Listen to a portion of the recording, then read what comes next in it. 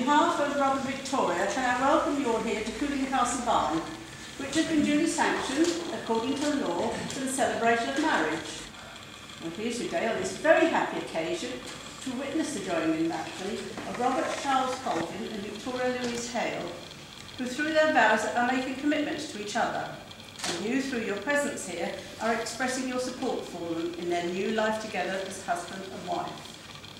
At this point I'm going to ask if there is anyone here present who knows of any lawful impediment preventing this marriage. They should declare it now. You've chosen your wisely. so may I ask who gives Victoria in marriage? I do. Thank you, Jeff. Let's take the seat and use. Now, Victoria, if you'd like to come up personally? I'll start with you, Rob. Rob, do you take Victoria to be your lawful wedded wife? And do you promise to be loving, caring and loyal to her and living your life together? I do. Same question, hopefully the same answer from you, Victoria. Do you take Rob to be your lawful wedded husband? And do you promise to be loving, caring and loyal to him in living your life together? I do. But before you join joined in matrimony, I have to remind you of the solemn and binding character of the vows that you are about to make to each other. Marriage in this country is a union of two people, voluntarily entered into for life and the exclusion of all others. The legal contract you enter into today and the promises you make will bind you together and it will let you know to all that your husband and wife. The first, first part of that legal contract is to declare your freedom to marry. Again, I'm going to start with you, Rob. If you repeat the words after me, please. I declare that I know I declare that I know of no legal reason of no legal reason why I, Robert Charles Colvin, why I am Robert Charles Colvin may not be joined in marriage may not be joined in marriage Victoria Louise Hale. to Victoria Louise Hale. Say words for you, please, Victoria.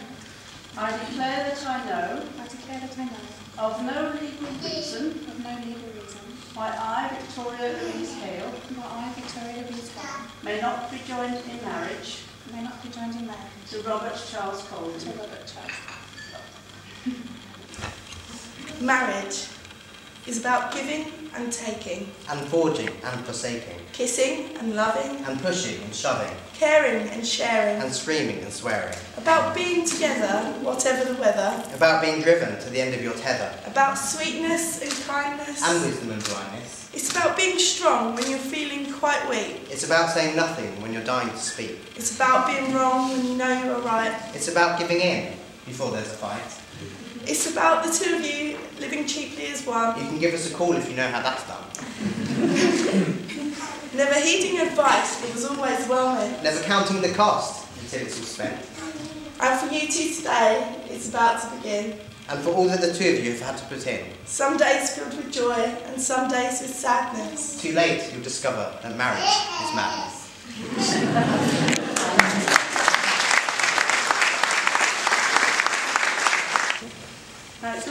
tradition in this country, ladies and gentlemen, upon marriage for the bride and groom to exchange rings. Robert and Victoria are going to do that, and Joe's going to come and assist. Please, Joe, you come forward.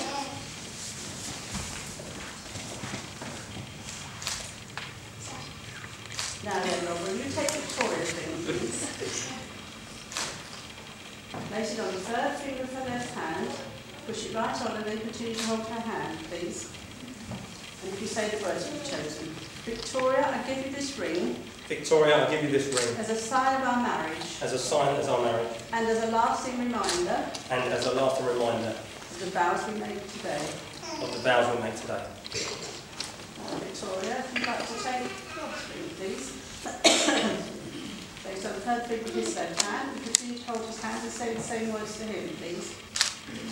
Rob, I give you this ring Rob, I give you this ring as a sign of our as marriage a sign of my marriage and as a lasting reminder and as a lasting reminder of the vows we make today. the vows we make today. Well, Rob and Victoria, your wedding rings symbolise the unbroken circle of love that you have for one another.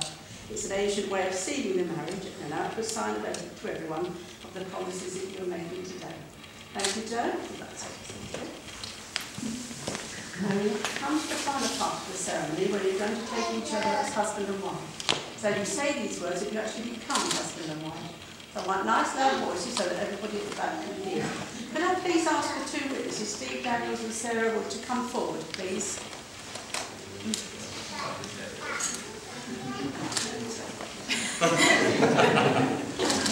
Thank you. Would you like to stand either side of the bride and groom for me, please? Thank you very much. You've chosen these two people to be your witnesses, but as I said, everybody's going to want to hear what you've got to say. Again, I'm going to start with you.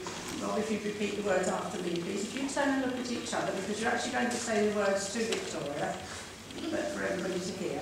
I call upon I call upon these persons here present these persons here present to witness to witness that I, Robert Charles Colvin, that I, Robert Charles Colvin, do take thee, Victoria Louise Hale, do take thee, Victoria Louise Hale. to be my lawful wedded wife. to be my lawful wed- wedded wife. I promise to love, I promise to love, to cherish, cherish, comfort and care for you, comfort and care for you, honour and protect you honour and protect you throughout our lives together. throughout our life together. Well done. And ask you to repeat the same words, please, Victoria. I call upon I call upon these persons here present. these persons here present to witness to witness, that I, Victoria Louise Hale, to witness that I, Victoria Louise Hale, do take thee, Robert Charles Colvin, do take thee, Robert Charles Colvin, to be my lawful wedded husband. to be my lawful wedded husband. I promise to love, I promise to love, to cherish, to cherish, comfort and care for you, comfort and care for you, honour and protect you honour and protect you throughout our lives together. throughout our lives together. Now, Rob and Victoria, you have made the legal declarations required by law. You've made solemn promises to each other in front of your witnesses, your guests, James and myself. I'm delighted to tell you that you are now husband and wife. Would you like to kiss your wife?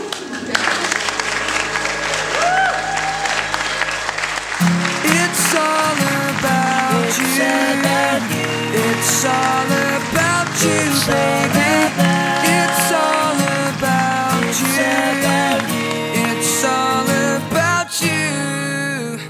Yesterday you asked me something I thought you knew. So I told you with a smile, it's all about you. Then you whispered in my ear and you told me to. Said you make my life worthwhile. It's all about you. Answer all your wishes if you ask me to. But if you deny me one of your kisses, don't know what I do. So hold me close and say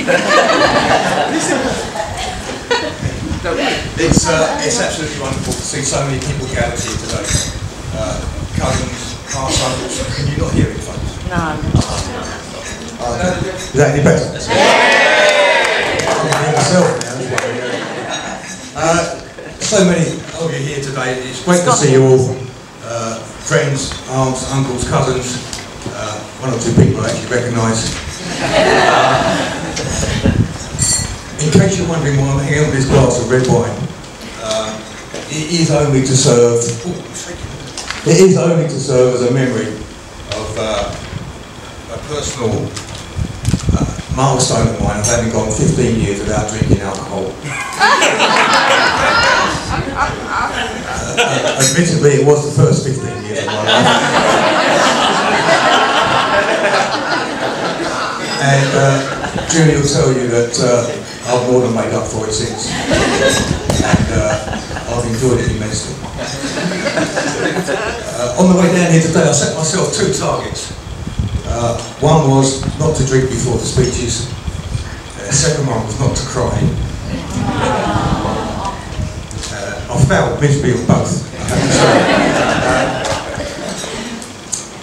anyway, on behalf of Carol, Julie and myself, I'd like to welcome you all and thank you all for coming here today uh, and sharing with us what is a, a fantastic day.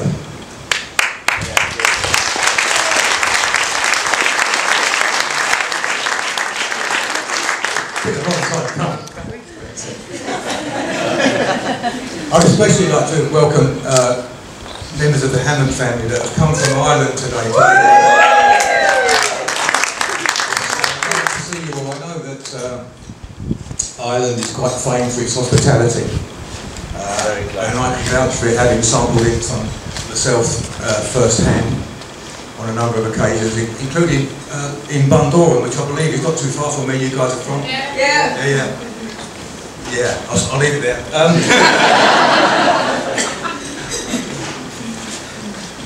I'd also like to give a special welcome, uh, this is probably not part of traditional Father of Right speech, um, to a group of people that are here. I think it's quite rare to have um, maybe one or two friends that you can call close. But to have a whole group of uh, people that are so close and loyal to each other, I think is absolutely fantastic. And um, admittedly, they are a bunch of drunken headbangers, but uh, it's great to see them all here, and thanks very much for, for making the journey. You're welcome. We hope you all have a great day um, and a great night with us. And if that doesn't get me a beer, I don't know what will. Uh, after the engagement was uh, finally announced,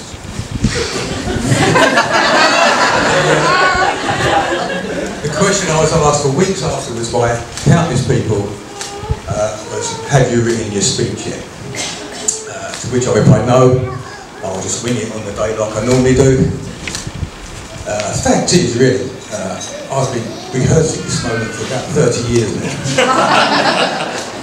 so uh, I'm absolutely delighted to at last be able to say congratulations to Vicky and insert name here.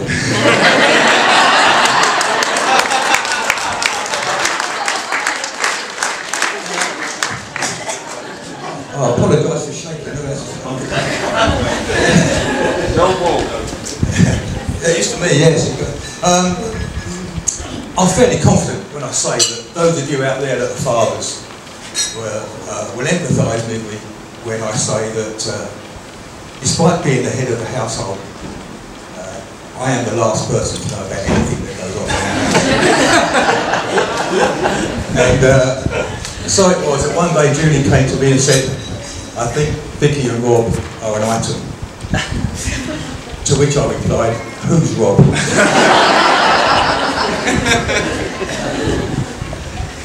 but um, I guess it wasn't too long after that. You two probably remember this, as I do. Uh, Rob arrived on the doorstep to take Vicky out one evening. Uh, I was in the living room. Vicky went out to answer the door. And before Rob could say a word, just launched into him. Absolutely slaughtered him. because he made the uh, criminal fashion faux pas of wearing a t-shirt with a zipped hoodie over the top and the font was different. Uh, this went on for quite a while, and uh, then Vicky finally stopped. And I'm sure it was only to draw breath for a few seconds. Rob just stood there and said, Well, I think you look lovely. True. and I thought to myself, I'm going to be needing a suit.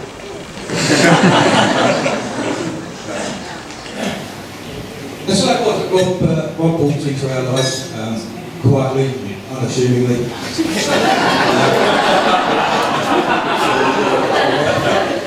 Uh, I must say, in all honesty, that uh, our lives have been much richer for it.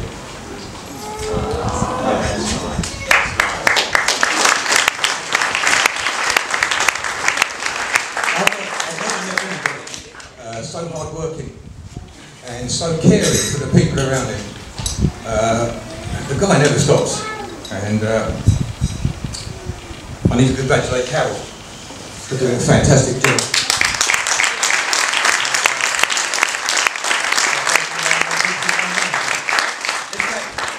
Two magnificent young men and, and Jenny.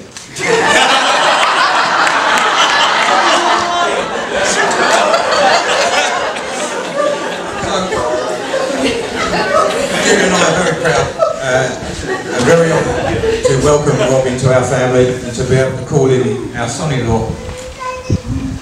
And I'd like to uh, thank you very much for taking Vicky off our hands. Rob, thanks mate, you're a star.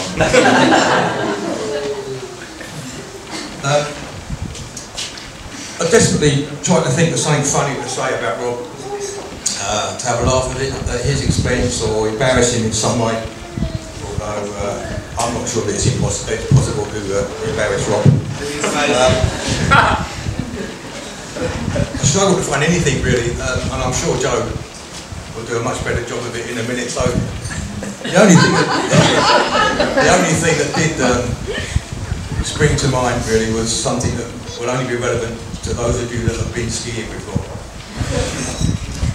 A few years ago we were in France and uh, there was this group of French people just standing at the side of the piste, uh, minding their own business, not in the way of anybody, except for Rob.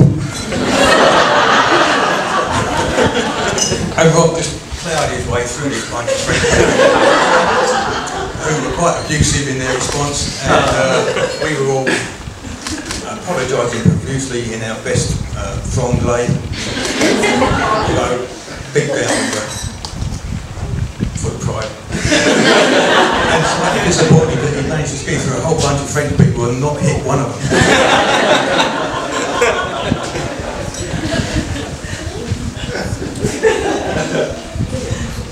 now, you've probably guessed this already, but this is the first time I've given a father a bright speech.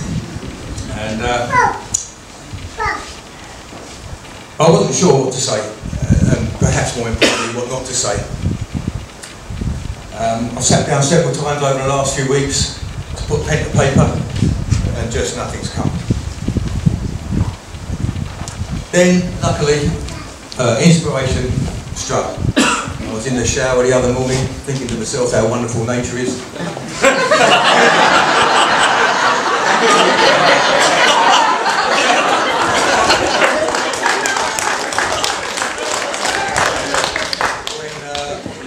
I decided to consult the font of all knowledge, Google. and Google said at this point that I should try and find something nice to say about Vicky, some fond memories of Vicky growing up. Uh, very hard to think of any single individual moments. Because I can say in all honesty, Go on, Jeff.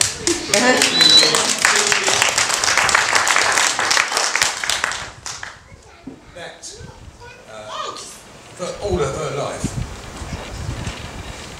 uh, Vicky has been nothing but a source of joy and uh, and pride for us. A quick comment.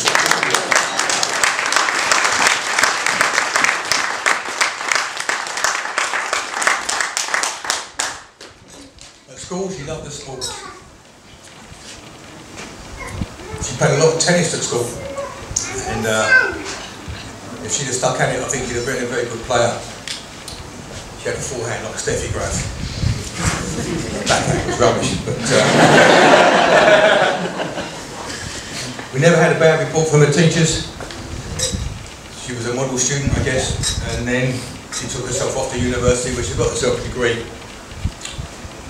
and then went out into the big wide world and got a job in a graphic design company working just round the corner from where I used to be based at, uh, at Soho Fire Station. think Vicky got a job just round the corner in uh, Frith Street. Uh, and uh, I'd see her fairly regularly on her way to work. I'd be sitting outside Bar Italia with the guys from the station having a cup of coffee and, and Vicky would wander past. Cost me a cup of hot chocolate every morning. And um, there's my story. I used to work also as a part-time job in the theatre, at the Palace Theatre, if those of you don't know it, in central London.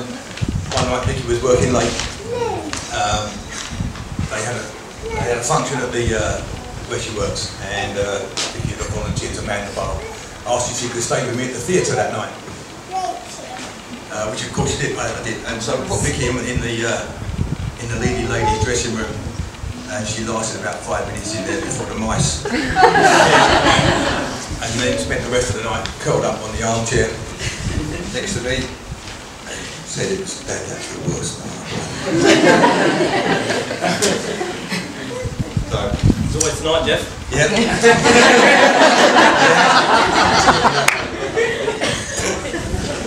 but uh, the one thing I do remember very clearly is the day she was born. Uh, she was born in the early hours of the morning, and uh, I got a phone call. I'd been playing rugby in the afternoon, Bad. and uh, had a couple of beers. Uh, got the phone call and uh, managed to get myself down to the hospital. And as I, I ran into the ward, the nurse said, "Oh, thank God you're here just in time." I thought, "Oh I was missing it." He said, "No, no, we need you to push the bed down to the operating theatre. No one else here." so off we did, did that, and Vicky was born sometime later by cesarean uh, section. Uh, and so I got to hold her first. And uh, I'll never forget it. Just holding on to her, giving her a bottle of water, those big bright eyes just staring up at me. And, uh, and I just melted. And I still do whenever I think it, as you can tell. I went back the next afternoon to visit, and the um, the ward sister said to me, she's not going to be very big, but she'll be as bright as a button. And uh, she was absolutely spot on. Don't know how she knew it, but she was absolutely spot on. When uh, when Julie and I embarked on the uh, adventure of parenthood, we, uh, like all parents, I guess, had had no training. We had fantastic role models in our own parents, but no training. And uh, our aim was to uh, produce two human beings that were uh, honest, hardworking, decent, outgoing people. I've made mistakes. Christ. But uh, overall, I think we did a pretty decent job.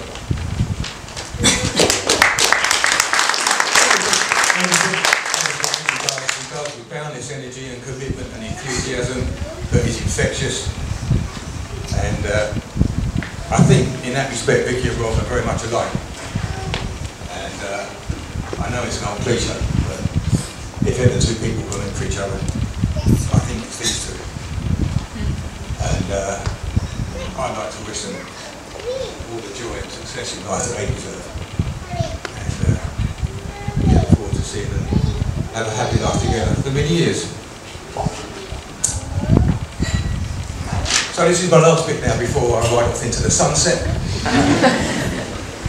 uh, I know Vicky's not going to be very far away and that uh, I'm going to see her most days.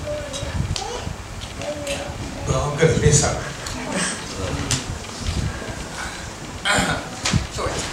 I'm going to miss her being my little girl. Uh, but I know that um, she's going to be in the best of hands and I'll console myself with the fact that I'm not losing a daughter. I am, of course, going in a bathroom.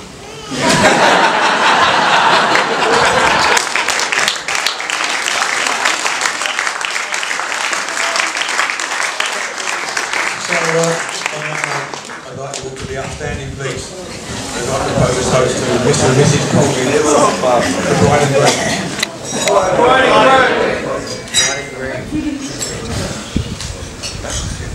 Thank you, everybody. I'm sorry about this shaking. And ladies and gents, you sit down, come on, Jeff Hale, give a lovely, lovely round of applause, the father of the bride. Sorry, folks. Um, I, I forgot something. I'm very sorry. I just wanted to say a quick thank you to all of the staff here at uh, Cooling Castle Bar.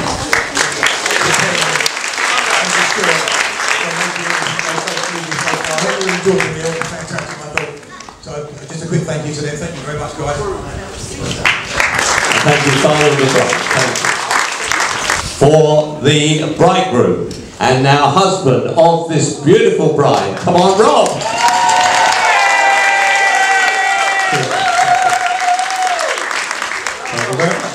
Thank you, Jeff. Very nice of you. Them kind words. My brand new father-in-law. Give him a round of applause. Thank you very much. Yeah. Now, since knowing Jeff over the last 12 years, we've actually grown very close. And there is nothing I wouldn't do for him. And there is nothing he wouldn't do for me. In fact, we spend most of our time doing nothing for one another, and I wouldn't have it any other way. Now, there's going to be a few toasts in my speech, so you can remain seated. Someone on table three has already fell over. They're quite drunk, so let's uh, let's remain seated. Otherwise, you'll be up down like Finner's elbow. So, uh, sorry, Nick. It was a great fall, though, wasn't it? It really was. I did start it out. I'd like to start by welcoming all of our guests here today, but with all occasions such as this, there are those we wish could be with us that sadly are not. So I won't name everyone's names because I know a lot of dead people. Uh, but if you would. it is that low, trust me, it gets worse. So, uh, if you would be kind enough to join Vicky and I uh, and raise a toast to absent friends and family, gone but not forgotten. Thank you very much. Uh, that's the morbid bit out of way, so now for you, Riff Riff. It makes me the happiest man alive to stand here and say, on behalf of my wife and I,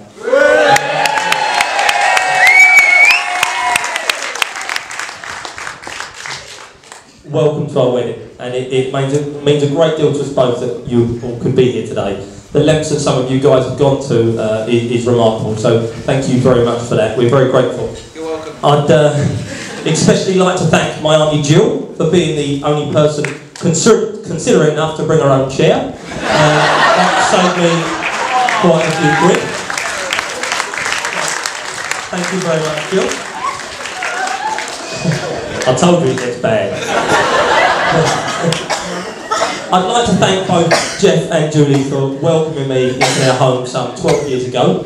And it can't have been easy welcoming a tall, dark, handsome, intelligent, dashing, wise, and very modest 18 year old into your home. But I've always felt incredibly welcome and more importantly very well fed, so thank you very much for that. You have raised a truly beautiful daughter who I promise I will take good care of uh, and I love her very much. So thank you very much.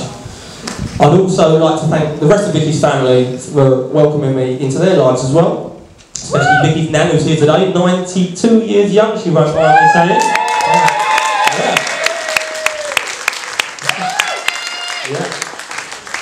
Sorry, Kate, I told everyone your age. I'm sorry. She'll hit, me a minute. Also, Vicky's auntie Susie helped massively with the bridesmaids' dresses, mainly ordering them to fit my sister's breasts in. And, uh, believe you me, that is no small task. So, thank you, Susie, for that.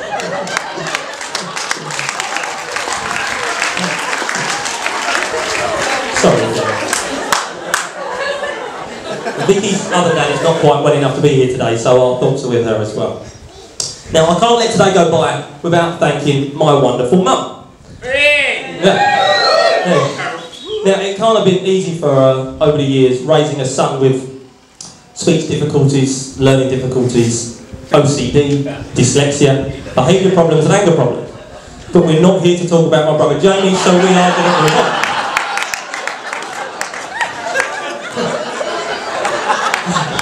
Oh, Jay?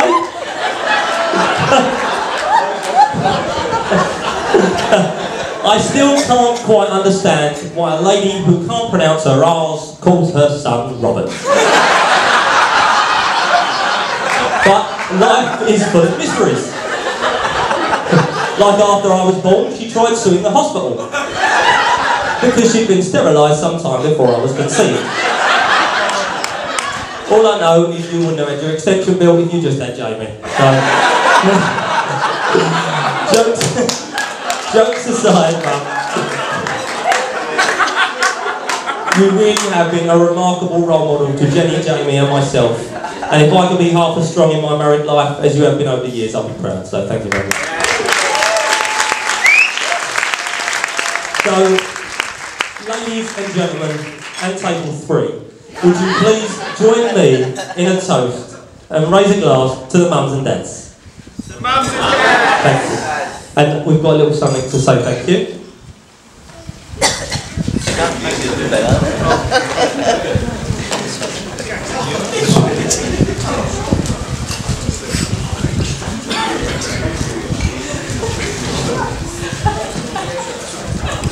You get something.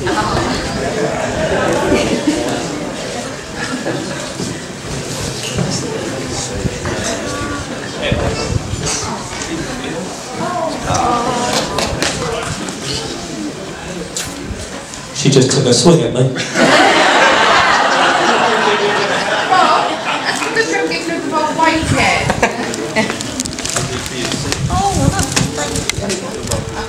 Thank you very much. Right, where was I? the bridesmaids. I'd like to thank Vicky's bridesmaids, uh, Jenny, Georgia, Emma and Lorna, for supporting her. Uh, you all look amazing, and uh, I know it meant the world to Vicky that you're with, with her today, so thank you very much for that. And also Amelia, Vicky's flower girl, who still won't give me a kiss, mind you. But thank you, Amelia, you looked amazing, you did a great job, thank you very much. Now, I understand that Jenny organised a fantastic hen do for Vic, and she loved every bit of it. Some bits, too much. As did all the girls, I understand. My usher, Ricky, did life modelling for them. And if you don't know who Ricky is, he is the tall, good-looking, tan, muscly, slightly balding guy on table two. I do have pictures, and for those of you that want them, I'm willing to send them round for a small fee, so come and see me afterwards. Now, oh, I think one of you girls still has his thong, which would be great if you could return that, because I actually lent it to him, and I was planning on wearing it tonight. But luckily, Julie lent me one, so we're all good. So, would you please join me and raise a toast to the bridesmaids, please? Thank you. Uh, I'd also like to thank our great friends Ginny and Blaze for doing a lovely reading for us today. That meant a lot to both Vicky and I. Uh, uh, that was great. I won't repeat what Ginny said to me when I asked her to do the reading, but it started with an F and it ended with an off. Blaze was much more polite, he just said yes, but Ginny, Ginny took some convincing, so thank you very much for that.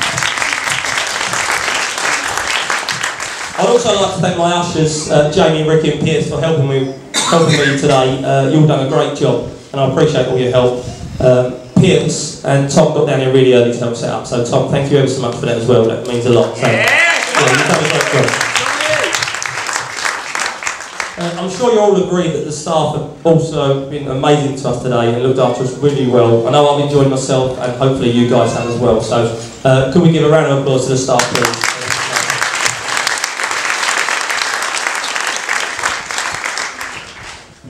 Now for my wife.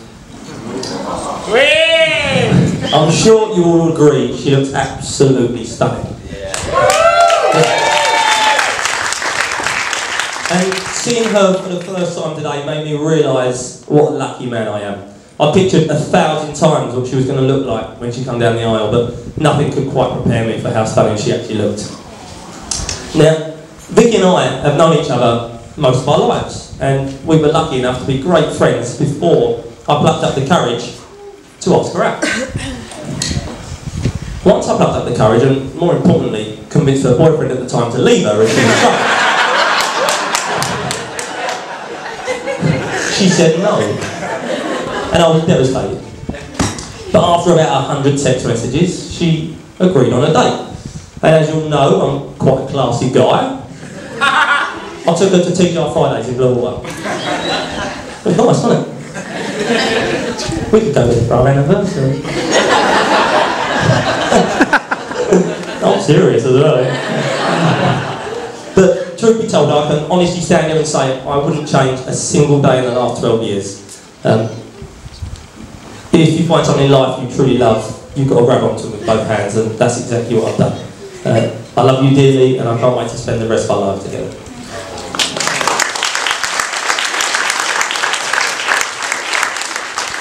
Vicky and I are a team, and everything we've achieved over the past 12 years, we've achieved together. Apart from one thing. Today. It was all me. No, it was... Vicky, everything you see in this room and uh, throughout the night, Vicky has arranged, and I'm sure you all agree, she's done a remarkable job, and I'm incredibly proud of her for it. So, thank you. I did, however, cut the invites and the pictures on the road trip. So have you got any dodgy ones? That's down to me. That's right, Jeff? Take the blame? Yeah? I've learned that very early on. So, ladies and gentlemen, would you please join me and raise a toast to my beautiful wife, Vicky. To Vicky. Joe. Got two pages on you, Joe. Now for my best man, Joe. I've been friends with Joe for as long as I have with Vicky, and it was actually quite a close call which one I was going to marry today. but Vicky cooks a mean lasagna, so uh, that's fine. For those of you that don't know Joe, I'd like to tell you a little bit about him. I've known Joe since I was five years old, and we went through both primary and secondary school together, where Joe showed an interest in drama. So much so, he went on to study for GCSE level, which he achieved an A grade.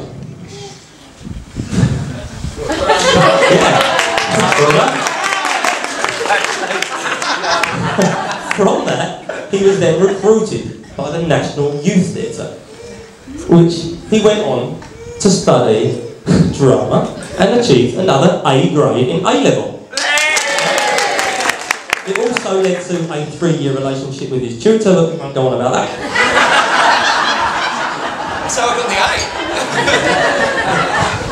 A. Joe was soon treading the boards of the Arden School of Theatre, where he gained his BA degree in acting studies. He also got a B plus in contemporary dance, which he has assured me he's willing to show you later on tonight. He has acted alongside and brushed shoulders with some big names, such as Linda Bellingham and Doctor Who himself, Matt Smith. And if you've spent more than one minute in his company, you'll know all about the National Youth Theatre and how he's best friends with Kevin Spacey. Now, the reason I'm telling you all of this is not because Michael Aspel is going to walk around the corner presenting This Is Your Life and handing a big red folder, but because for most of Joe's life, he has been taught and trained how to lie. That's what acting is. And you can see from his A grades that he's bloody good at it. So when I hand you over to him in just a moment, please bear this in mind, because he may be telling you stories about me that quite possibly will not be true.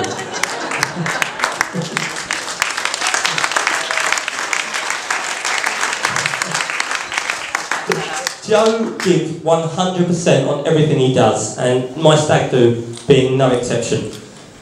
It was an Only Fools and Horses stag do, I was dressed up as Del Boy, and Jamie, my brother being the plonker that he is, was dressed up as Rodney. We had to go around pubs selling hooky gear out of a suitcase, running from the old bill whenever we saw them. I had to fall through the bar at every opportunity and drink what I was given, and it truly was perfect. He even got a video with all my friends and family and managed to get Boycie himself out of Only Fools and Horses to send me a video message, which was just remarkable.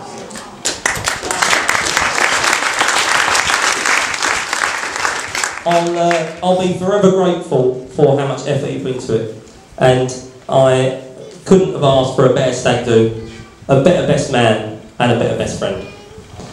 Thank you for everything you do. Thank you for getting me here today and keeping me here. Uh,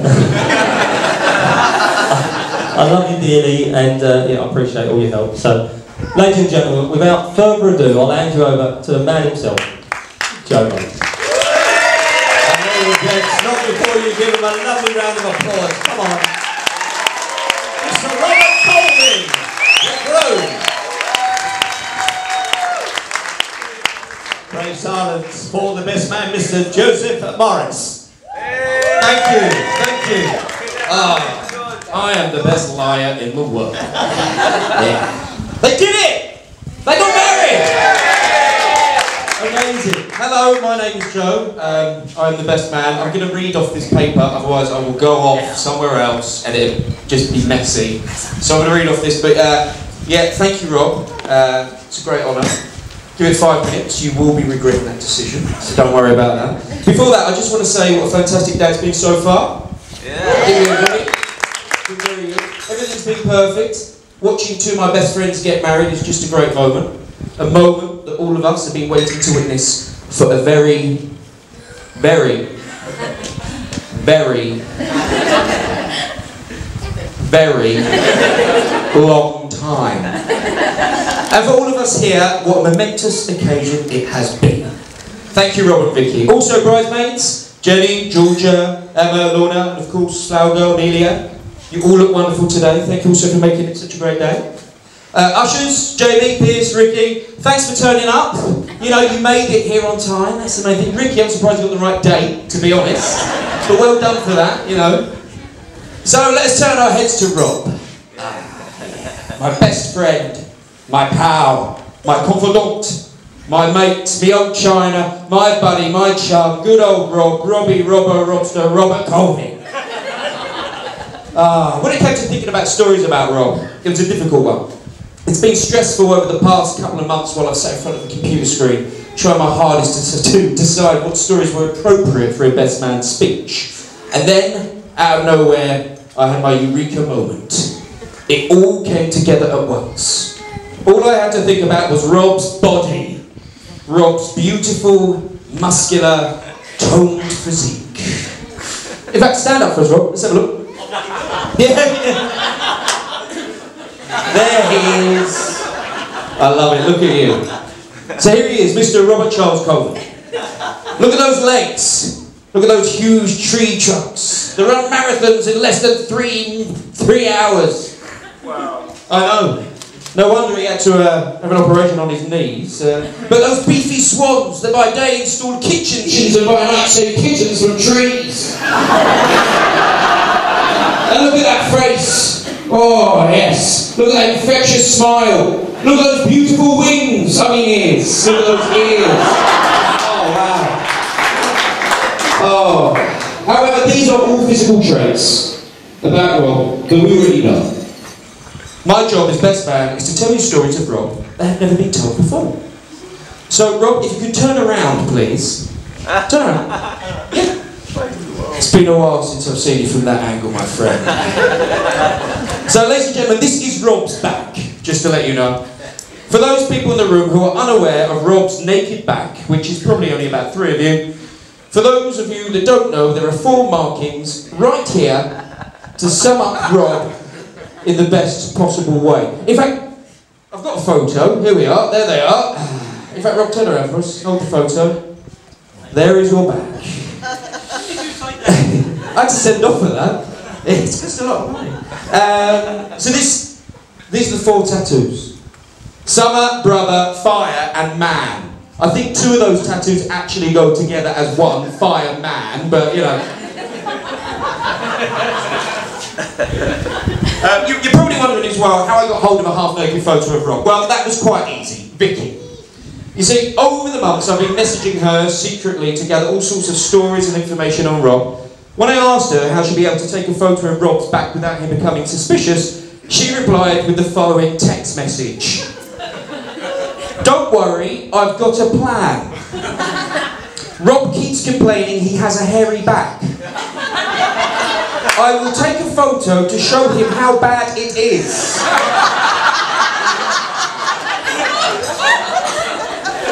LOL. Hashtag gross.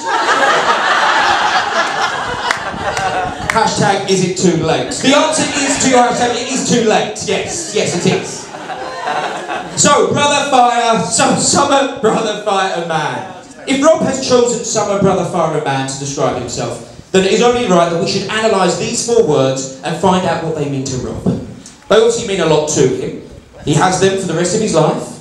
Scarred on his back, strangely in Chinese Mandarin symbols, but I have no idea why he's done that. He's obviously a China fan. I don't know, but summer, brother, fire, and man. So let's take the first, the first tattoo. Summer. You can sit down now, Rob. Sorry. If you can sign that for me later, that would be fantastic. It makes sense for Rob to have summer as a tattoo. I mean, Rob loves summer. It's his favourite season. He loves holidays in particular. Interestingly, my first memory of Rob was during the summer holidays. We were both 10 years of age. Robin invited me to go camping in his back garden. The Colvin household wasn't difficult to find. A semi-detached property located on the busy Rochester Way. I, I think what made the Colvin house so distinct and unique from the rest of the street was the huge red and white Bedford van that sat, sat on the driveway, rusting away. I miss that death trap. Carol, Rob's mum, answered the door and led me through the house to the back garden. There was Rob, a 10-year-old goofy kid with a cow's lick shaped head and elephant ears. He sat there proud that he'd erected a tent all by himself. So there we both sat in a two-man tent. Rob had this glint in his eye, this mischievous look. He stares at me with his cheeky smile. He says, You know what people do when they go camping, don't you? I mean, I'm 10 years old. I've never been camping before. I had no idea. Okay, so I replied quite nervously, uh, you know, what? They start fires. It's at this point he pulls out a lighter. Just imagine, right, there we are, two 10-year-olds in the heat of summer, sat in a flammable shell of plastic trying to start a fire with a lighter. I repeat, flammable, fire, plastic. It was at that split second, that moment in time, that I made a very important decision in my life. I looked at Rob, I looked at that excited glare on his face, I looked at his trembling fingers as he tried to flick a spark from his lighter, I looked at his unpredictable horse smile that took up most of his face, and then I made the biggest and bestest decision a 10-year-old could ever make. Robert Colvin will be my best friend!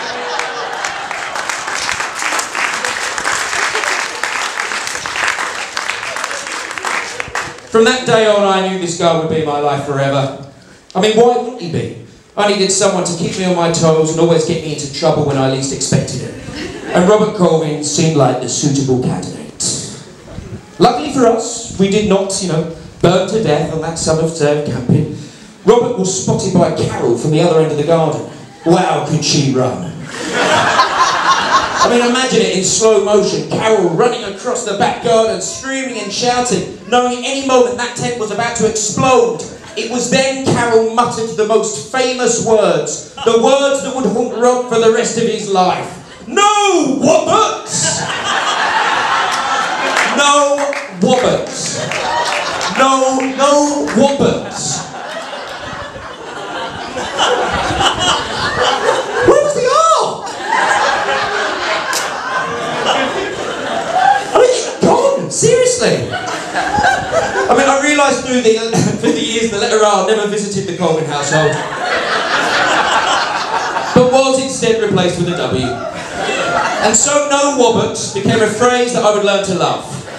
It was a sentence that, whenever heard, meant that Rob was up to no good. Because at this point, I want to say, Carol, you are my hero. I have complete admiration and respect for you.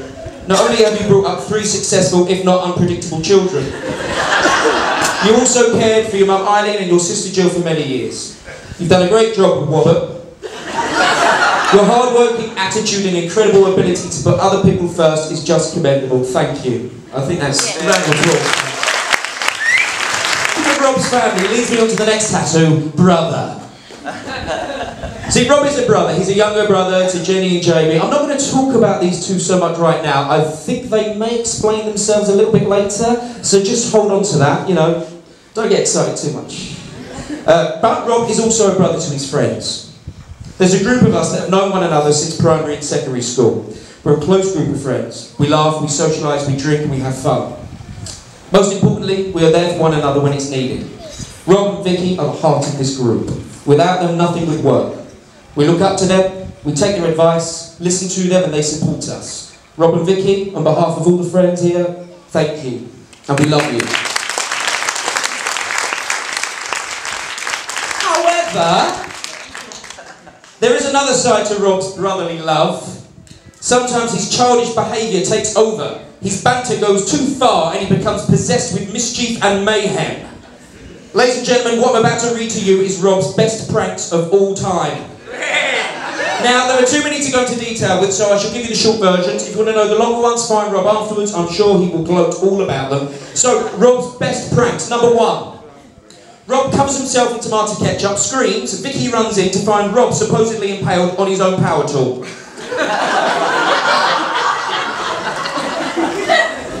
Number two, Rob exploits Ricky's arachnophobia by placing tarantula skin on Ricky's face while he sleeps.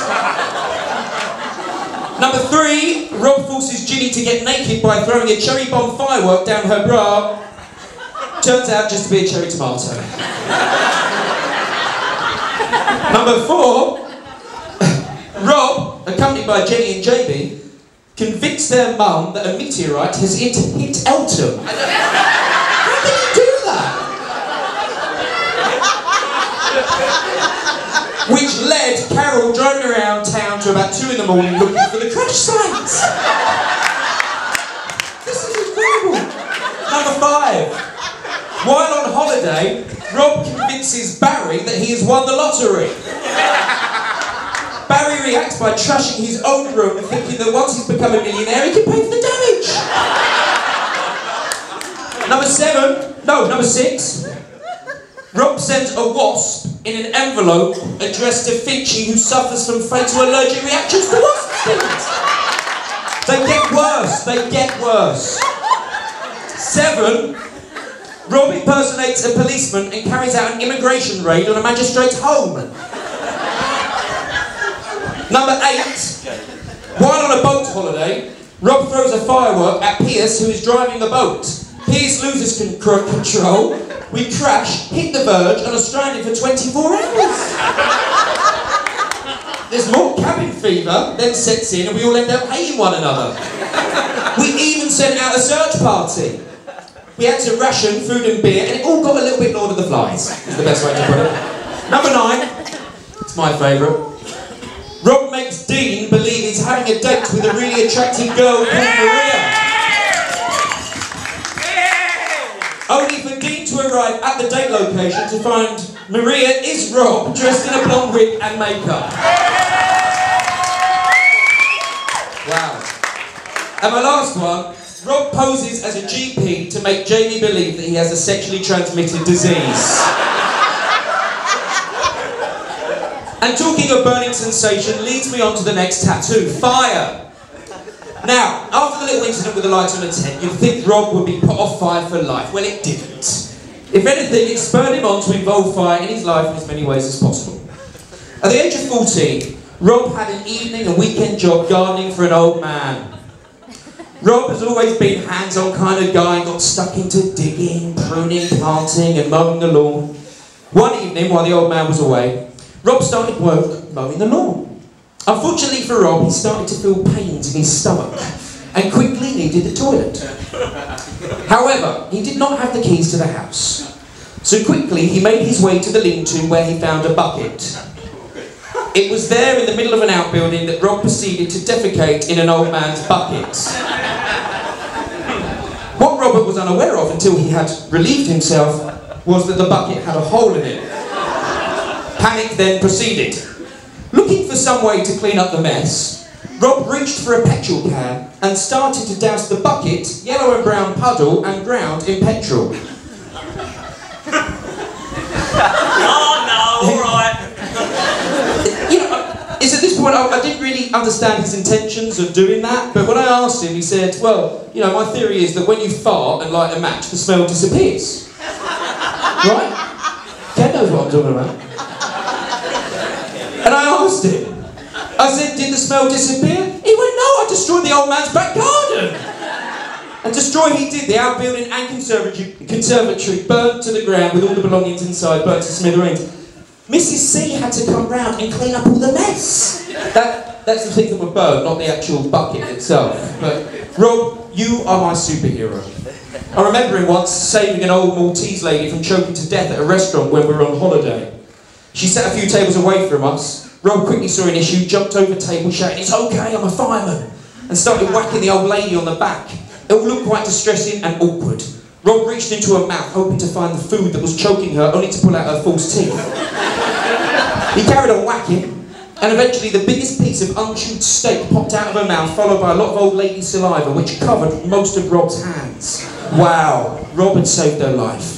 The old lady cheered, the family cheered, the manager of the restaurant cheered, the customers cheered, everybody cheered, it was amazing. Rob came back to his table, sat down, took a sip of his beer and said, nothing really, all in a day's work. And that's Rob. He can't help but help other people. It's no wonder he became a fireman. It's at this point I want to mention Vicky's parents, Jeff and Julie. Jeff, I believe you had a lot to do with inspiring Rob to become a fireman. Either that, it was the large pension benefits and the sector uniform. well, I'm good. but jokes aside, Rob has love and respect for you both, and I know he's very excited to become your son-in-law.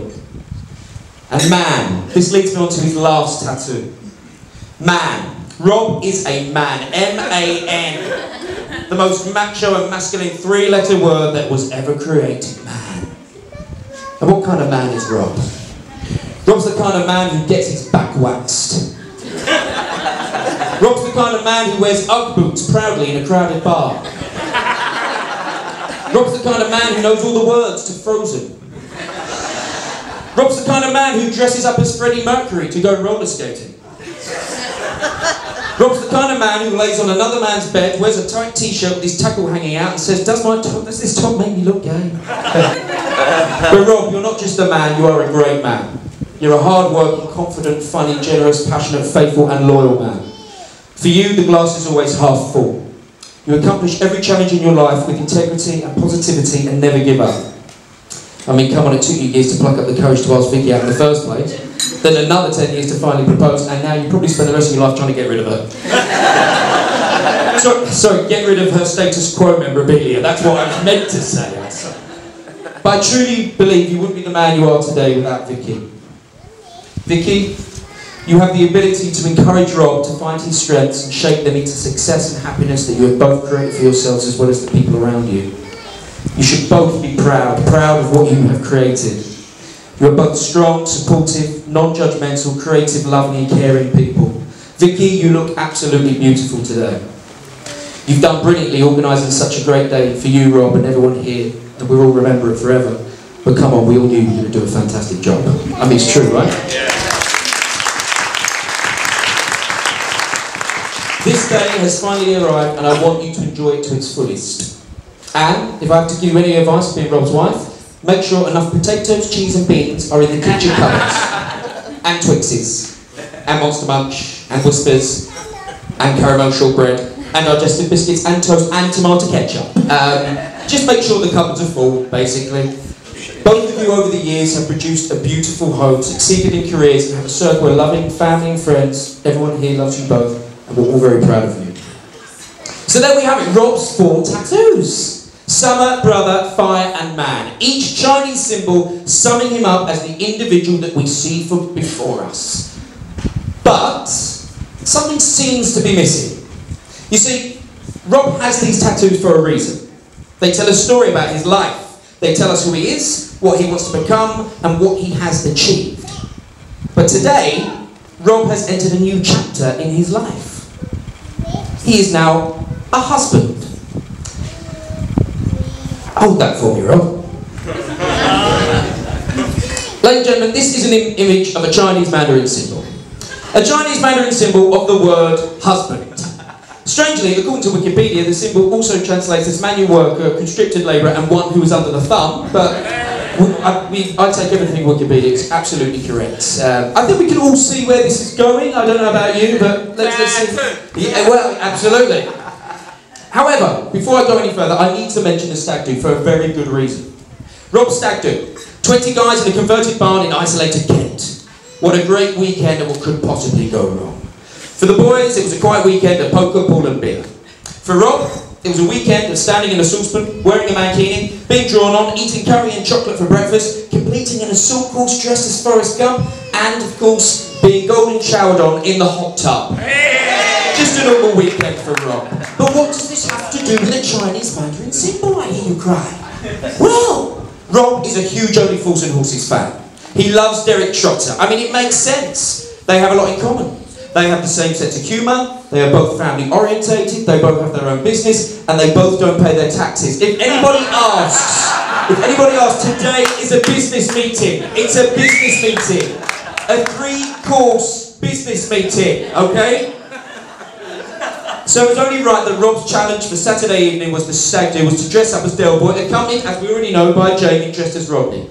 His challenge was to approach strangers in pubs, bars and side streets in Canterbury and using any means possible sell the hooky gear from his suitcase. Inside the suitcase was all sorts of objects, including signed photographs of Derek Trotter, a CD player, toilet paper, authentic china plates, cuddly toys, Peckham Spring water, and a half-eaten sandwich. Rob being Rob took the challenge in his stride. He was over the moon that he got the chance to become his favourite hero. Moving from pub to pub, bar to bar, Rob worked hard to cash in. I've never seen some, someone in so much of the element as much as I witnessed that evening. By the end of the night, Rob had made £53. An incredible achievement. However, that money disappeared. Rob, with his generous nature, doubled the money from his own pocket and gave it to the British Legion. Any small change he had in his pockets, he gave to anyone he saw sleeping rough on the streets of Canterbury. What can I say? That's the sort of guy he is. Rob is the sort of guy who sees other people in need and must help them in any way possible. I commend him. But unfortunately, his good nature has slightly ruined my plans for today. You see, unbeknown to Rob, the rest of the lads on the stag do, and everybody sitting in the room today, that money was meant to go towards a Chinese Mandarin symbol. to be more precise, a tattoo of a Chinese Mandarin symbol of the word husband, of which would be tattooed onto Rob's back. So you see, my plans have been ruined. There is no money, no tattoo. Rob has got away with it. Well, unless there's another way. Ricky, uh, could you help me for this, please? it's time to make that money, Rob, in the best way possible and the way that you know best. Ladies and gentlemen, for one last time, Robert Robert. is going to be dressing up as Del Boy.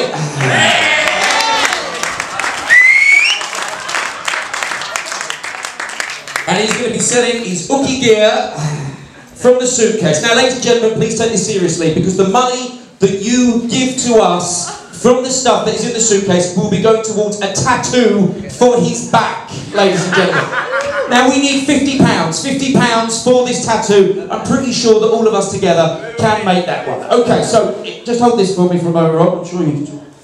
Don't donate. I'll pay you, not that. Oh, um, Jamie, you might want to come up as well, mate. I'll put the 50 in now. we are. That's for you, Rob. Stand up for me, my friend. There we are. Take that. It just happens to have I have 50 pound in my pocket. There we go. Luke, Luke, where are you? Just to let you know, we've got uh, Del Boy here, we've got Rodney here, and uh, Luke is our table. Just to let you know. So there you go. Just to let you know, some of the uh, we've got a couple of boots in here if anyone fancies those. Uh, Forrest Gump hat. Um, some of my favourites in here as well. There's a couple of t-shirts, white t-shirts. Rob does like a white t-shirt. No wobber. Uh, Wobber says relax.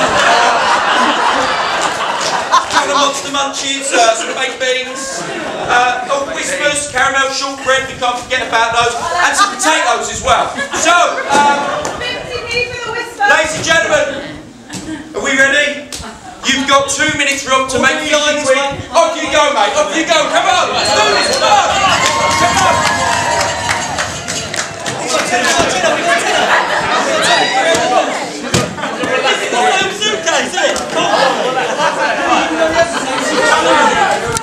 Right, who's having what? We got a tenner.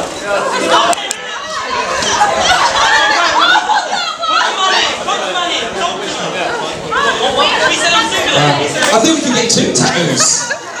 We sell them singly, we can get more money.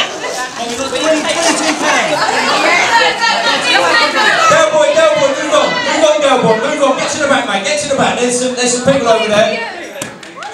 Have a look, people. Let's go. Move on, go boy, go on. No, get down.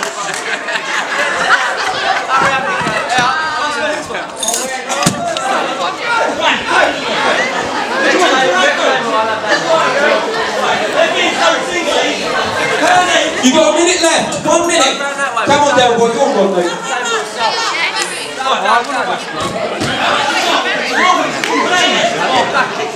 Right, this way. Luke, this way. Who's got money over here? Right, Luke, get down. You got 30 seconds, Del boy. 30 seconds. Right, what do we got? What do you want? Do you want?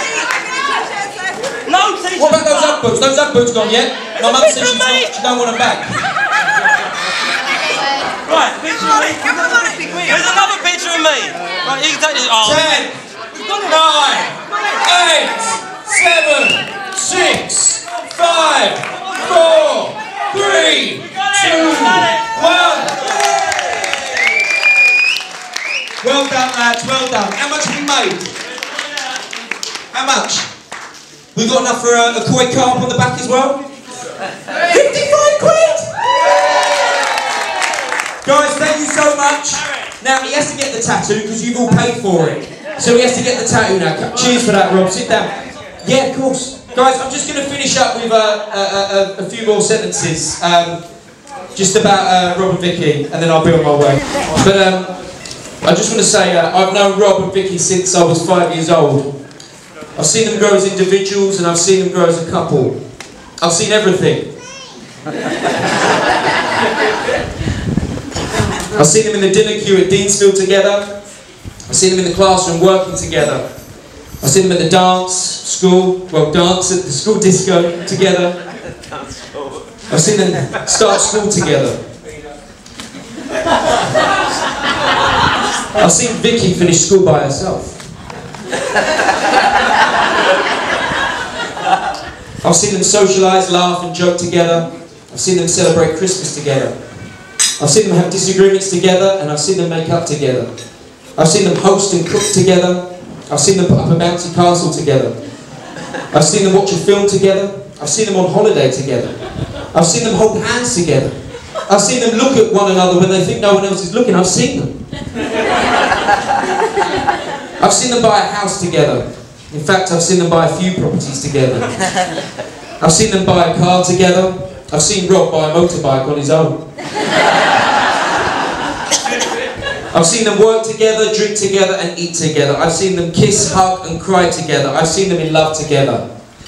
But most of all, and the most important one of all, ever since I was five years old, I've seen them together. And I always will. Ladies and gentlemen, please stand and please raise your glasses, Rob and Vicky together.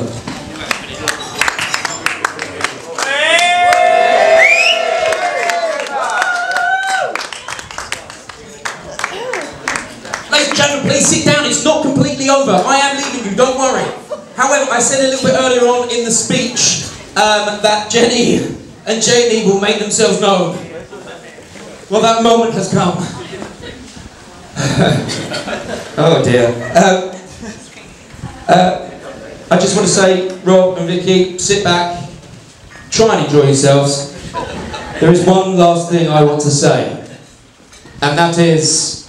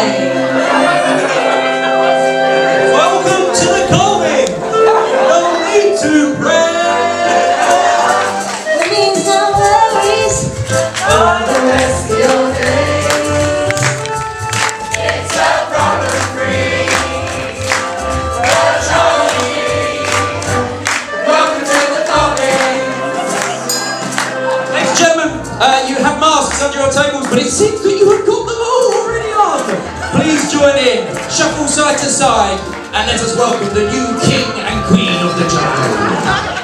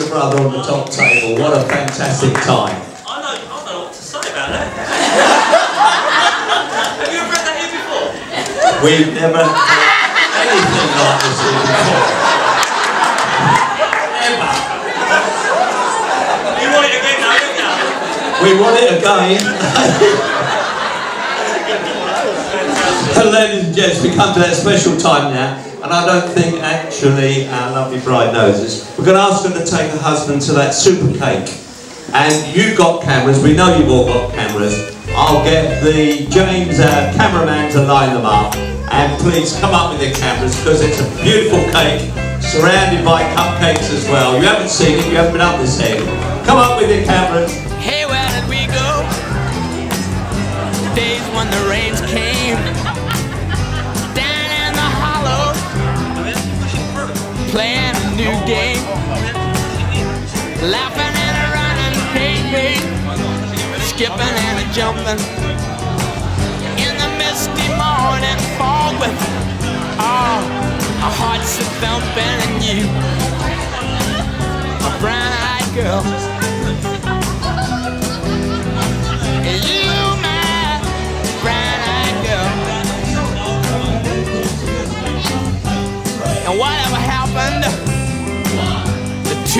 Tuesday so slow? Gone down the old man with a transistor radio. Standing in the sunlight laughing, hiding behind a rainbow's wall. Slipping and sliding all along the waterfall with you, my brown-eyed girl.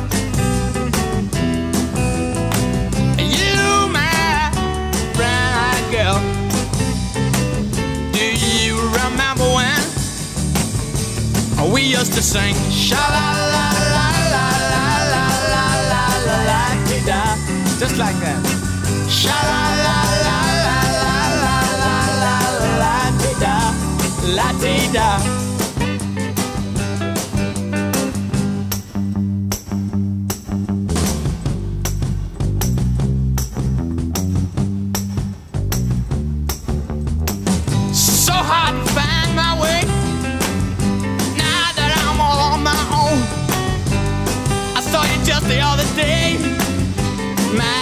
You have grown. Cast my memory back there, Lord. Sometimes I'm overcome thinking about making love in the green grass behind the stadium with you, my brown-eyed girl. You, my brown-eyed girl. Do you remember when? Ladies and gentlemen, used to please come towards the dance floor. I do believe your bride and groom are ready for their first dance. Get your cameras ready. The band are finally ready.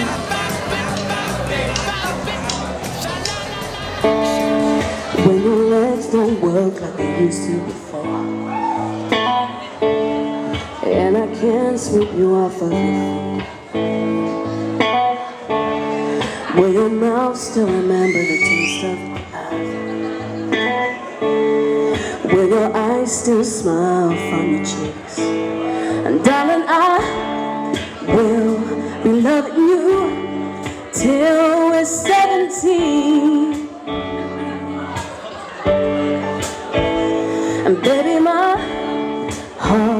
Cause still less heart at 23 I'm thinking about how people fall in love in mysterious ways. Maybe just the touch of a hand. Me, I fall in love with you every single day. I just wanna tell you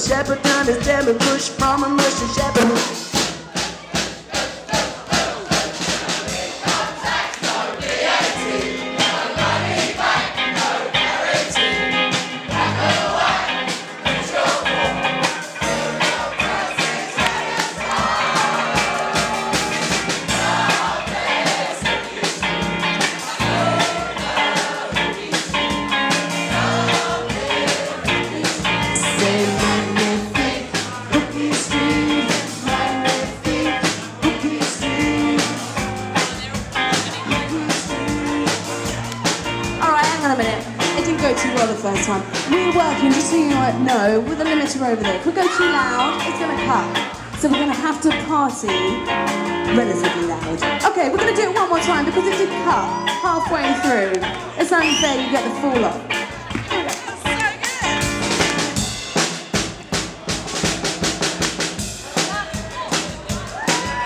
Some rock boys, crack dice, miles and miles of capitals. TV's deep freaks and David Bowie out makes and out bush. Trevor finds the track streets from a shepherd's. Push, push, push, push, push, push, push, no income.